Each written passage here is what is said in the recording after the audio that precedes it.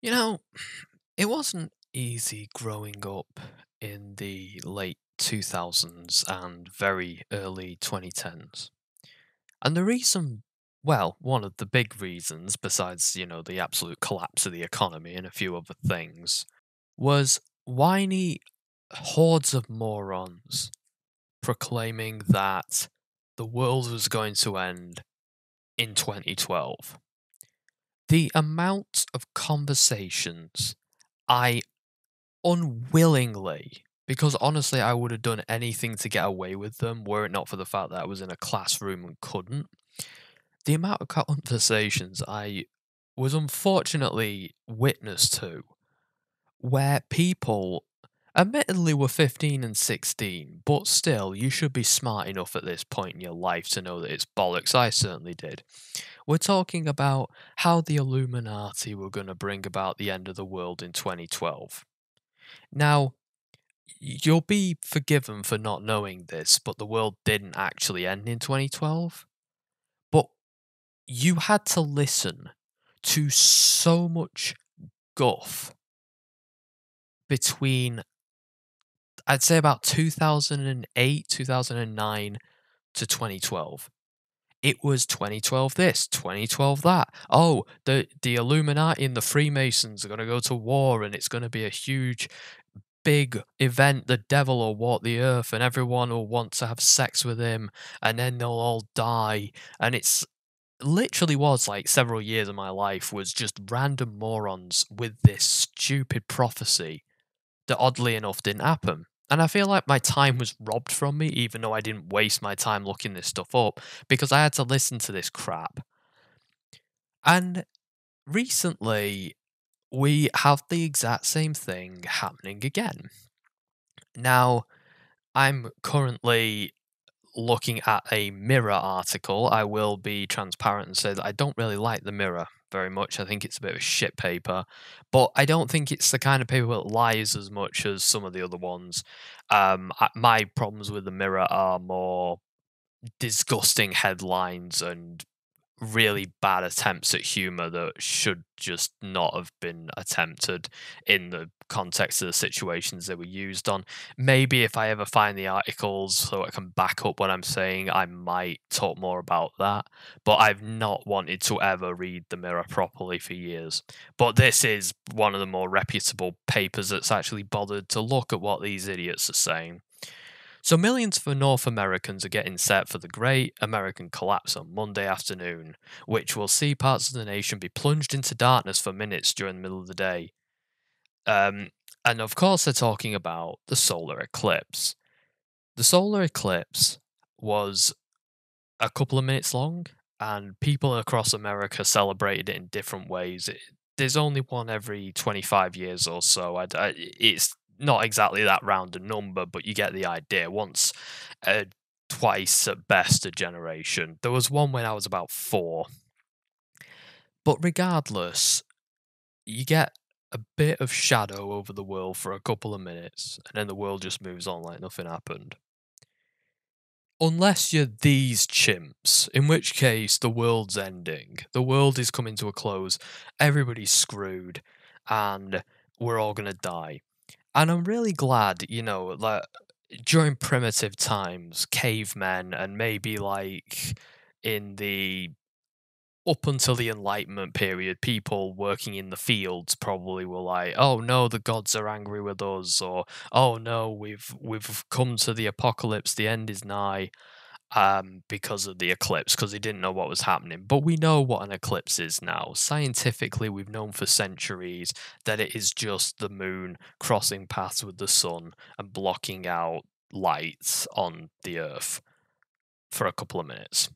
That's about it. Sometimes it's a eclipse of a different planet blocking the sun that has happened once or twice, but apart from that, it's just that.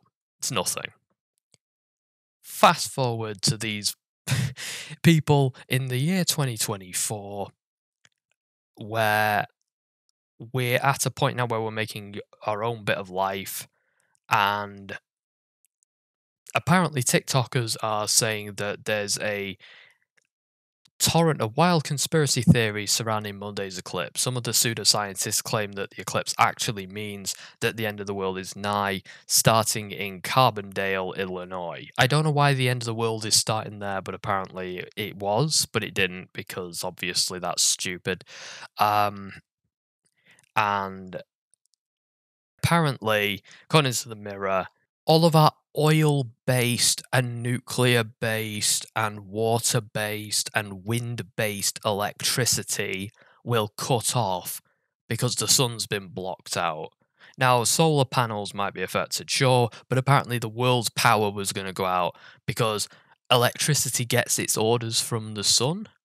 And without the sun's input, it doesn't know what to do and just stops working because that's how electricity works. If you know you skipped all your science classes in high school to sniff paint thinner behind the school, um, there's going to be mobile phone disruptions. Um, you need to buy necessary groceries because without the sun, they'll just evaporate.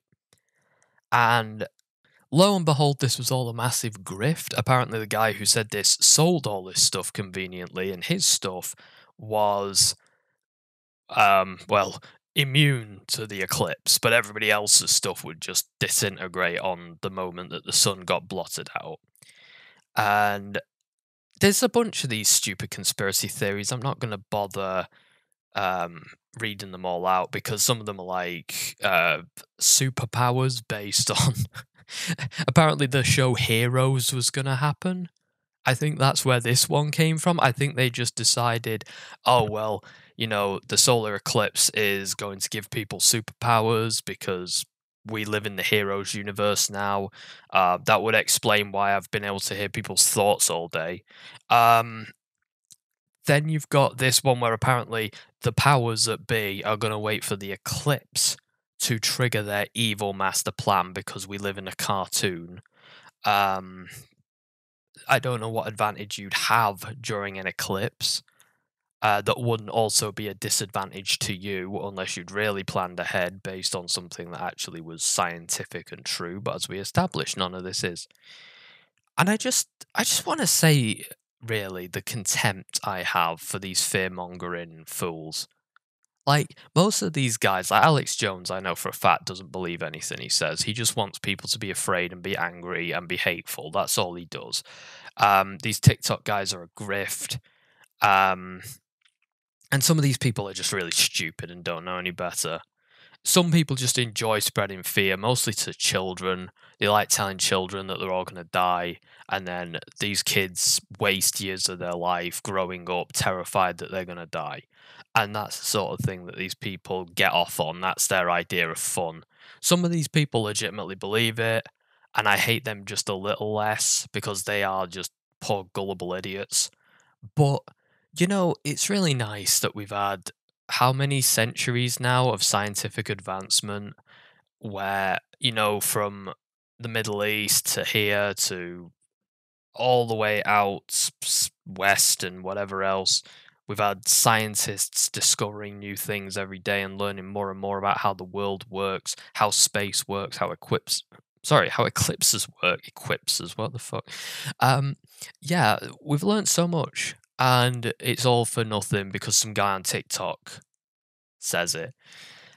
And it baffles me that like we live on a planet that learns nothing from century to century. It really does. And I don't understand how people are so stupid that they buy into these end of the world theories. If you ever look at the World Mission Society of God, for example, they've had an end of the world theory every, I think, three years for about the last 50 to 80 years. I can't remember how many years it's been specifically, but it's been quite a few decades since World War II or just after it. And do you know how many of those end of the world dates were accurate out of like, I don't know how many they've come up with at this point? Three. The world only ended on those three, and the rest of the time it was uh, complete bollocks. I'm kidding, of course. For those of you who are that slow that you think the world did end three times in the last century, it did not. Um, you know, for the InfoWars uh, audience.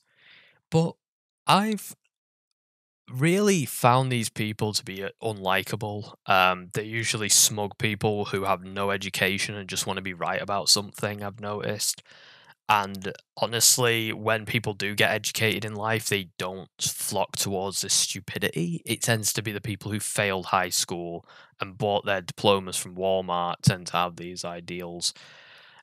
But the thing that annoys me the most is how utterly humorless these people are when it comes to being proven wrong. Like when we got to 21st of December 2012, end of the world day, everyone went to the end of the world forums to say, I think you were a bit wrong with your prediction. And you know how humorless the people there were. Absolutely. Well, you know, it wasn't real. It was just a joke, guys. We only just we only parroted on about it every day for the best part of 5 years for a joke it's not real, you know, it's it's just a joke. And it's really pathetic that these morons can't even be wrong and admit they're wrong. They have to act like, oh, it was we only went around spreading fear for the best part 5 years as a joke. And we only acted like we really believed it as a joke. It was a goof, guys, a gag. That's why we made it our entire identity for 5 years. Like Honestly, I I don't know if this will ever stop, if these people will ever grow up, but I doubt it because they're all stupid or they're all malicious or grifters, and quite frankly, I I have so little patience for it. I just love pointing and laughing at these people whenever they are inevitably wrong. Professor Curious is okay.